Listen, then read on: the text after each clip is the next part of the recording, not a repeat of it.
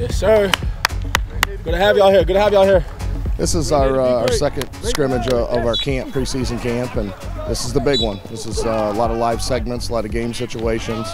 Um, we're going to try and get about 80 to 90 plays total, and we're going to work a couple special team uh, segments in as well. Some of those will be uh, thud, and then some will be full, be full contact. So, um, got a lot to cover today. We've got a four-minute situation today. Probably get a two-minute situation as well. And uh, you know, it's a big day for these guys because a lot of a lot of really good competition going on right now. Two go, go, two, two go, two go, two go. Hey, two, two, two. Well, first thing is what I've been talking about and harping on all week. I want to see us play with a little more effort, um, play a little more uh, uh, under under control, and uh, big thing is just make some progress from last week to this week. You know, we've got to make a big jump here and and uh, and play some better football, better team football.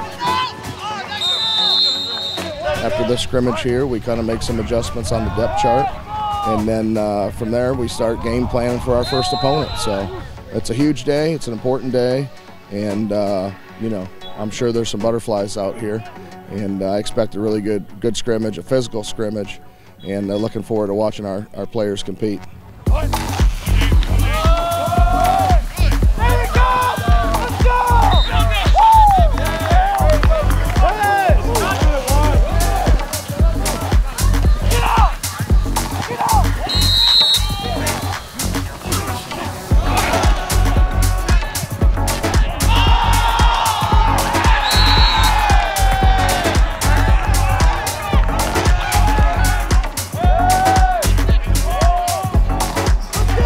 Playing harder than last last last time out, which which was really important for us. I think our defense is playing really well.